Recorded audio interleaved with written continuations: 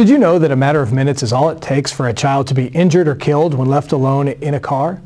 I'm Cameron Smyth. The Child Care Resource Center and I want you and your families to be safe. So please remember, don't leave your child in a car because a matter of minutes is all it takes.